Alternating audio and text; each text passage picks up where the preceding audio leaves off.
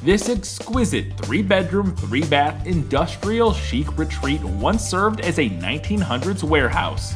This converted masterpiece showcases exposed brick walls, heated cement floors, and so much more. An expansive patio, lush gardens, and walled courtyard invoke the romantic feel of Mexico's patio homes. The chef designed gourmet kitchen inspires with high end appliances, beamed ceiling, and 12 foot glass doors opening to the courtyard and gardens. Come see it in person with Lee Opperman and Gail Sacelli.